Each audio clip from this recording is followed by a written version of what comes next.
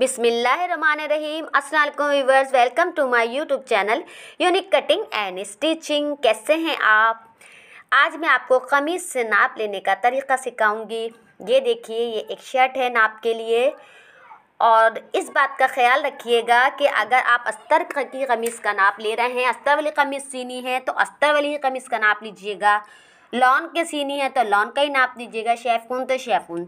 इस बात का ख़ास ख्याल रखिएगा, क्योंकि नाप चेंज हो जाता है। जो कमीज़ सी रहे हैं, उसी कमीज़ का आप कस्टमर से अपने नाप लेंगे, क्योंकि बॉडी से नहीं ले रहे, हम कमीज़ से ले रहे हैं तो वही शर्ट आपको चाहिएगी। अगर आपको वीडियो पसंद आए तो प्लीज़ लाइक ज़रूर करिएगा, आपका एक लाइक हमें बहुत हौसला देता है, और हम अच्छी वीडियोस आपके लिए लाते हैं। इस बात का भी ख्याल रखिएगा कि कमीज़ प्रेस हुई भी होनी चाहिए। जिसका आप नाप ले रहे हैं। परफेक्ट प्रेस होनी चाहिए। और लेंथ का नाप मैंने ऊपर इंची टेप रखा गले की तरफ़। और बिल्कुल नीचे तक, जहाँ तक कमीज़ की लंबाई है, वहाँ तक मैं इंची टेप लेके जाऊँगी। तो ये मेरी लंबाई शर्ट की आ रही है थर्टी एट ठीक है? थर्टी एट में हम प्लस टू कर देंगे कि हम जब कटिंग करें तो कहीं थर्टी एट में ना काटते हैं तो प्लस टू आप कर लीजिए। वैसे मैं तैयार नाप लिखवा रही हूँ थर्टी एट ठीक है, लंबाई मेरी थर्टी एट तैयार है। इसमें मैंने प्लस करके लिख दिया है ताकि मुझे याद रहे। अब हम बाकी नाप जो है, हम बैक से ले लेंगे शोल्डर का। ये देखिए, ये बैक का मेरा गला है, इसको बिल्कुल फिनिशिंग से रखिए। खूबसूरती से, बिल्कुल सफ़ाई से। और ये देखिए, इस तरह कमीज प्रेस हुई भी होनी चाहिए। अब मैं तीरे का नाप, यानी शोल्डर का नाप, मैं कहाँ से लाऊँगी? जहाँ से मेरी आस्तीन ज्वाइंट है, वहाँ से। तेरह इंच शोल्डर है तेरह। इसमें भी एक इंच प्लस करके लिख लीजिए। तो ये फोर्टीन पे कटेंगे। तैयार तेरह है। ठीक है, मैंने तैयार तेरह लिया है। इसके बाद देखिए, मैं अपने पेस्ट का नाप लूँगी। कहाँ से इंची टेप रखा? जहाँ से मेरा आर्मोल ख़त्म हुआ है। ये देखिए, गोलाई में आस्तीन लगी हुई है। नीचे, यहाँ से मैंने इंची टेप रखा। और दूसरे आर्मोल पे मैं ले गई और तकरीबन बल्कि परफेक्ट उन्नीस आया है। तो बेस्ट हुआ उन्नीस। अब देखिए, कमर लंबाई तो हमारे जितने शोल्डर होते हैं, उतने ही होते हैं। चौदह मैंने शोल्डर रखे हैं कटिंग के साथ। एक्स्ट्रा एक इंच लेके तेरह थे चौदह रखे तो चौदह ही कमर लंबाई आएगी। लेकिन किसी की बड़ी भी होती है ज़्यादा लंबी है बेस्ट हैवी हो तो लेंथ बढ़ जाती है, एक डेढ़ इंच तो आप कमीज़ का शेप देखेंगे। ये देखिए, इस तरह से ये शेप आया हुआ है। तो चौदह पे ही आ रहा है। तो कमर लंबाई जो होगी हमारी चौदह तो अब हम कमर का नाप ले रहे हैं। वेस्ट हमारी है, ये देखिए, यहाँ से तकरीबन हमारी सोलह आई। नाप लेने का तरीका मैंने आपको बता दिया, कमीज़ पे भी कि कमर की लंबाई का नाप कैसे लेते हैं। शेप देखिए कमीज़ पे, अगर शेप समझ में नहीं आ रहा है तो शोल्डर जितने होते उतने लेते हैं। अब देखिए हम ऊपर से चाक का नाप लेंगे। नीचे से भी ले सकते हैं, ऊपर से भी, क्योंकि कमीज़ हमारे हाथ में है, हम हर तरह से ले सकते हैं। तो मैं ऊपर रख रही हूँ, शोल्डर की तरफ़, जहाँ से मेरा गला बना हुआ है, और मैंने यहाँ से लंबाई ली। तो इस कमीज़ में जो लंबाई आ रही है, वो ट्वेंटी वन आ रही है। तो यहीं से हमारे चाक खुलेंगे। इस तरह से, और यहाँ से देखिए, जहाँ से ये है, जहाँ से हमारे चाक खुले हुए वहाँ से, और दूसरे चाक की तरफ़ से हमने लिया। तो हमारे हिप्स ये देखिए। उन्नीस साढ़े उन्नीस आ रहे हैं तकरीबन, वो हमने लिख लिए। अब हम नीचे अपने बॉटम पे, यानी दामन पे आ गए। अब जितना भी आपका कस्टमर बॉटम रखवा जो शर्ट में है, वही रख लीजिए। देखिए, इस शर्ट में ट्वेंटी वन ही आ रहे हैं। तो हम ट्वेंटी वन लिख लेंगे तैयार।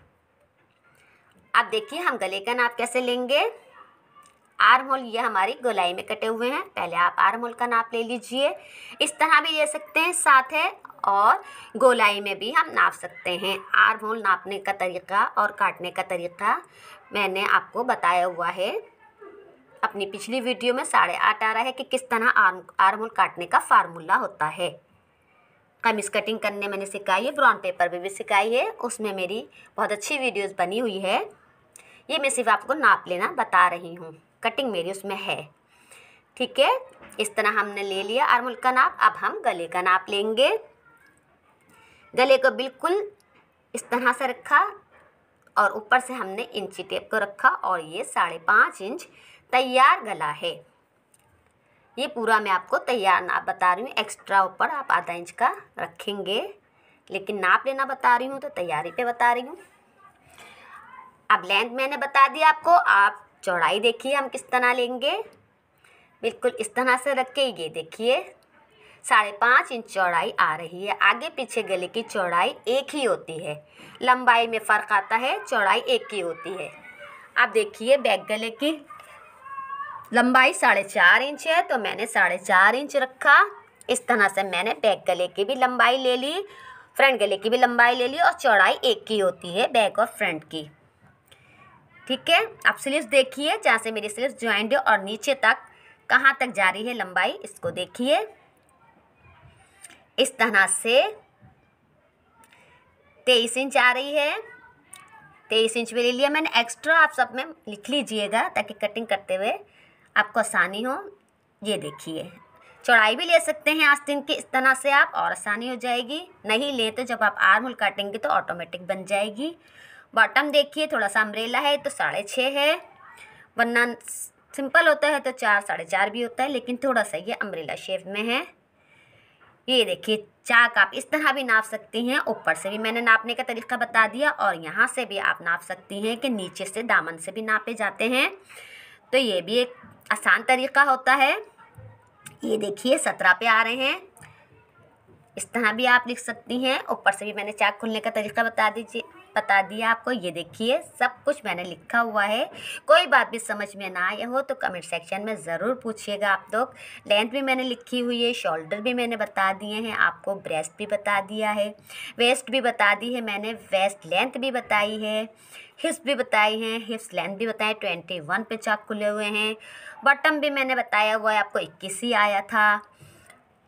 टू मैंने प्लस कर दिए थे तेईस। इस तरह से। अगर ये वीडियो पसंद आई है तो प्लीज़ लाइक करना मत भूलिएगा।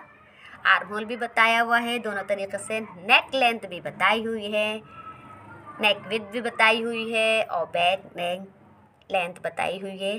बैक गले की स्लीव्स भी बताई हुई है, बॉटम भी बताया हुआ है, सब कुछ बताया हुआ है। न्यू है तो जल्दी से चैनल को सब्सक्राइब करें और बेल आइकन को ज़रूर प्रेस किया करें ताकि हर न्यू वीडियो की नोटिफिकेशन आपको सबसे पहले मिले। ये देखिए, हर चीज़ मैंने आपको परफेक्ट समझा दी है। अपना बहुत ख्याल रखिएगा। शुक्रिया। थैंक्स फॉर वॉचिंग अल्लाह हाफिज़। नेक्स्ट वीडियो के साथ हम बहुत जल्द आएँगे।